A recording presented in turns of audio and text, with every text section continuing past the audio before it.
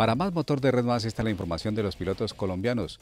En Portugal, Gustavo Yacamán ganó la última válida de la Europea Alemán Series. Muy contento con, el año. Eh, cerrar con dos victorias consecutivas, la verdad es eh, algo que no le puedo poner palabras. Muy, muy contento, muy agradecido con todos mis patrocinadores. En Querétaro, Rigo Salazar consiguió dos victorias en el Campeonato Mexicano de Motovelocidad. Ocupamos el primer puesto en las dos categorías que estamos participando, en la Pro 600 y en una monomarca que es la Vortex 650. Eh, gracias a Dios hicimos la pole, eh, la Super Pole en la Provay y, logramos traernos los dos premios.